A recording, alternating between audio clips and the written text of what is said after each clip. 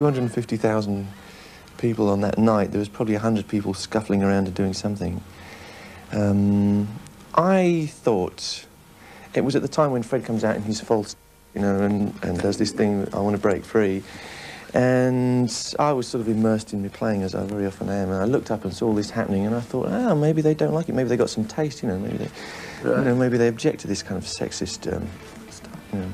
But in fact, I mean, and that's what the papers printed because that was obviously a good story. Yeah. I suppose. But actually, I was told later that what really happened was somebody was heaved back into the crowd by security, not very gently, like thrown back in. Mm. And people objected to that and started throwing stuff at the security. So I think that is probably what was really going so on. So it was all blown out of proportion. Yeah, it certainly didn't amount to very much. No. When you and Rod started the band years ago, Tim Staffell was your lead singer. Yeah. What's Tim Staffell doing these days? Do you know, I don't know. Last I heard, I mean, I spoke to him on the phone, it must be a couple of years ago, and he was pursuing his artistic career because he's he was really a, a visual artist. Right. And that's what he was at college doing. And I think he was working for a magazine doing some graphic design or something. But um, not singing, which is a tragedy because he's very good. Mm. I think. Okay, can you recall the first concert that Queen did as Queen uh, today? Yes, um, we didn't. We had this idea that we should practice and practice and write and write and be perfect when the time came, you know, which obviously wasn't going to quite happen. Because you continued at college, didn't you? That's too? right, we were all at yeah. college doing our degrees. Well, I was doing postgrad, in fact, I got mm -hmm. my mm-hmm. degree. John was doing his first degree. And we, the very first one was in a lecture theatre. I think it was Lecture Theatre A in the physics block at Imperial College London, right. which held about 100 people. And we just sent out invitations to all our friends and all the famous producers and people that we thought might be contacts, you know, none of them came. All our friends came, but none of the important people came. Yeah. And we played, and we had a... How did you go? Fine, it was pretty yeah. good, really. We good reception? A, yeah, it's all right. You know, it's like well done, lads. So, but, but, in those days, did you think then when you walked off that night, 10 years from now, whatever, how many years uh, we will be, you know, top of the top of the block? I don't know. There's, you know, there's different levels. I think on one level we thought, yeah, we're the greatest thing in the world. We have something to offer which nobody has, you know, which you have to have if you, sure, sure. you know, you have to have that belief. But on, on another on another level, excuse me, on another level.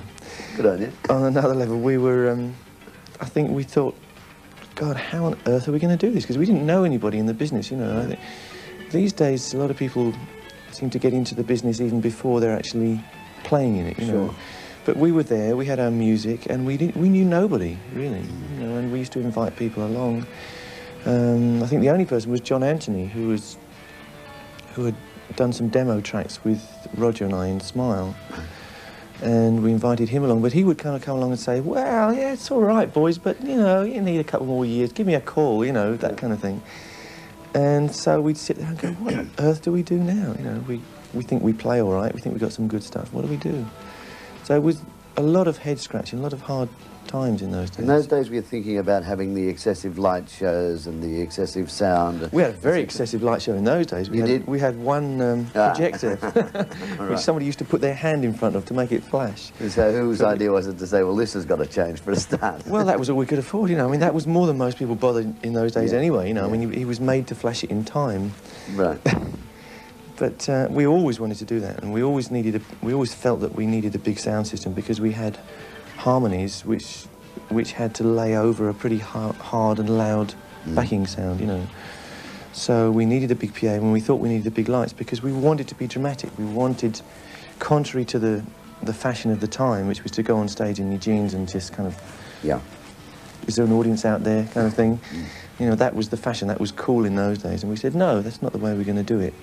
If people are going to pay to see us, we're going to give them everything we have in that two hours or whatever. And that's still our philosophy, you know and there's sometimes some flack thrown at us for, you know, for maybe going over the top on presentation. But to us, it's it's part of the act. You know, it doesn't get in the way of the music. It helps the music to get across in that short time.